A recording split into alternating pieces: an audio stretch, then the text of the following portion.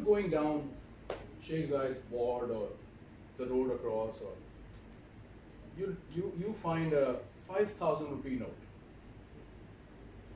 Five thousand rupee note is a big deal in Pakistan, especially. What do you do? Let, let, let me have the funny responses first.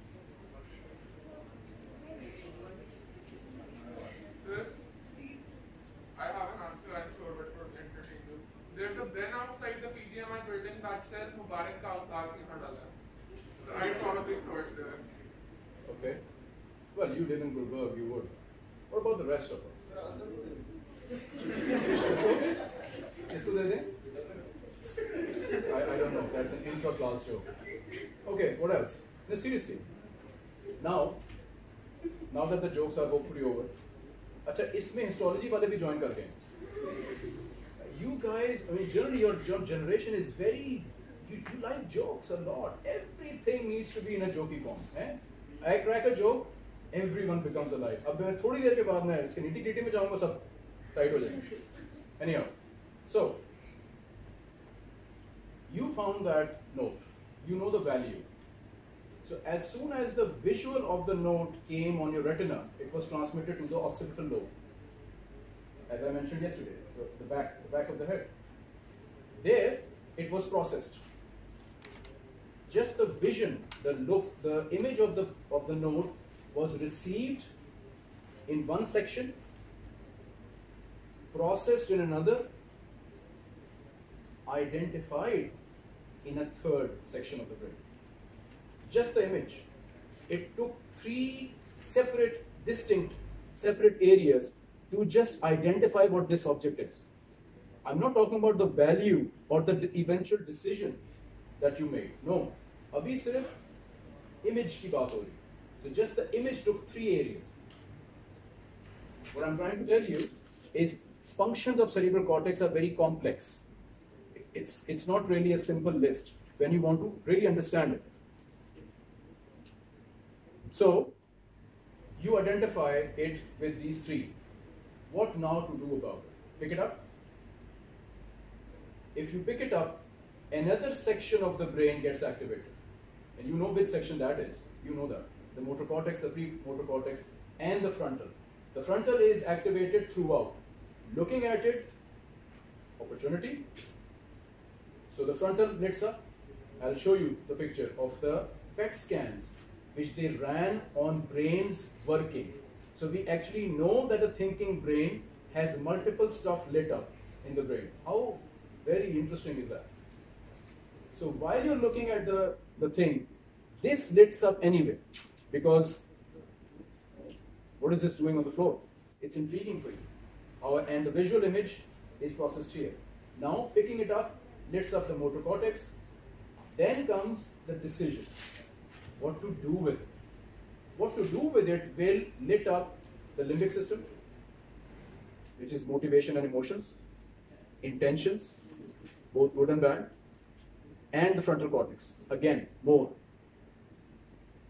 This is just this. This one little thing. How can you write it in one line? It's, difficult. But this is how it goes. This is how the brain works. This is how the cerebral cortex works. Can you give me a sign that you understand? It's very difficult for me to work this.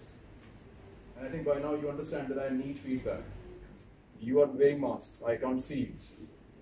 So a nod in the which uh, the otolith organ is being all picked up here. Come on. Maggie, what is this? A nod would be nice.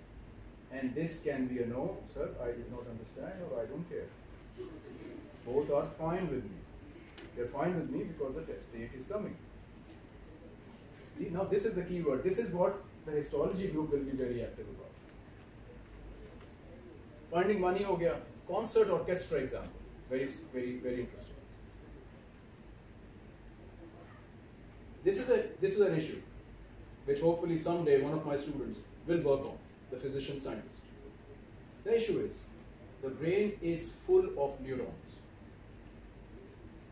And in a live brain, in vivo, we need, we want to understand, and there are like two, three mega projects, one in the European Union and one in the US.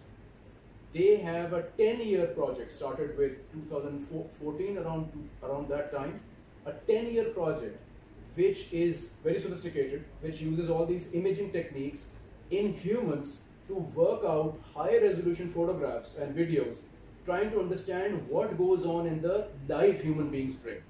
So this is a current issue.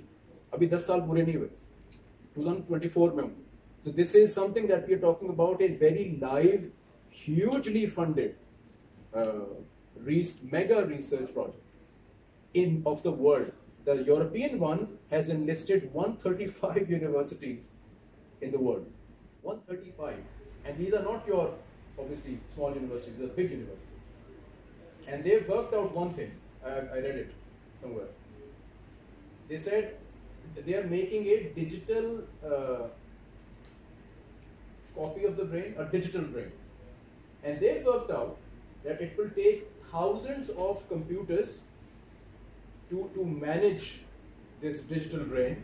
And those computers haven't been invented yet because the processing power of each of these thousand computers needs to be much more than what is available today. It's, it's baffling. What happens in this head of ours? To, the point was not to disturb you. Who's talking? ऊपर वाले यार बात सुनो hello भाई थोड़ा सा आवाज thank you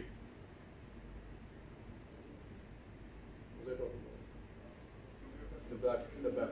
So the the multitude of computers, okay? The concert. Ah, concert.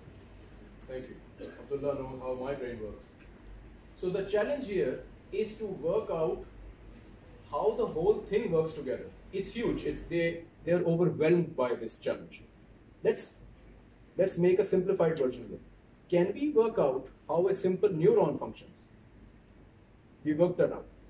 We know that depolarization excites it, hyperpolarization inhibits it. We have worked it out. Now what they did is let's study a pool of neurons. How does a, so basal ganglia. Many pools of neurons, but let's say take one pool. So they did some experiments, etc., etc. They're not happy. Why aren't they happy? They're not happy because of the orchestra exam. So you have gone to a concert hall to listen to an orchestra. I don't know if you know what orchestra means. Concert. Concert. Many musical instruments with three idiots trying to sing. Concert. Now, if you if uh, if this is an analogy of the brain, what they have been able to do maximum is look at the sound produced by one instrument, one neuronal on pool. So imagine going to a concert and just be able to hear one of the entire orchestra. That's nothing. You want to hear everything. So the brain, the, the analogy is, there are mu these multiple neuronal groups. They not only work independently, but they also affect each other. So if you are to hear a flute separate in a separate musical piece, it would sound different. But when put in in an array of musical instruments, it will sound different. The one who knows that this note is of the flute would know. Somebody who doesn't have intricate knowledge about music wouldn't even appreciate that. Yeah? This is the challenge. Finding out how the different parts of the brain, so that 5,000 rupee note example, or the or you, you saw a flower and you want to pick it, smell it, whatever. These when these different parts lit up, how do they interact with each other so that we arrive at what we do, the action. The last example is even more complicated. A moving object. So a ball, a football, uh, a, a bouncing ball, or a cricket ball coming towards you which you have to hit or catch. This is very complex when you look at it from the brain point of view. Again, if this stuff is making sense to you and if you're interested in this stuff, please do follow up this, this sense that you are having right now. This, if it interests you, you have a bone called research in you.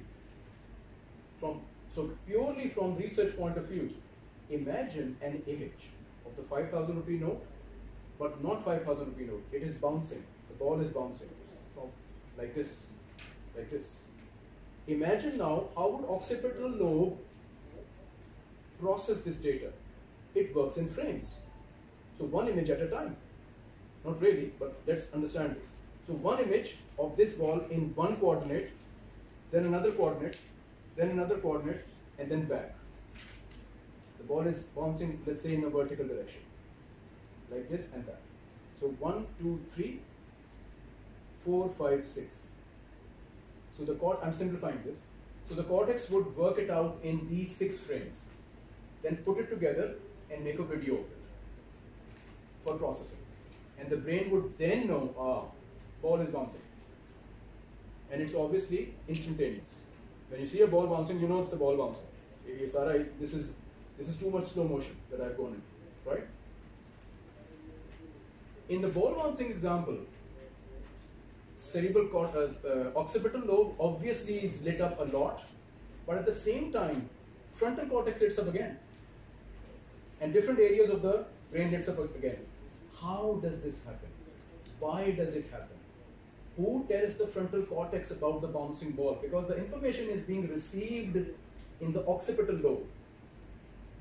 ये किधर से आता है? उसको कौन बताता है? And so on and so this is the problem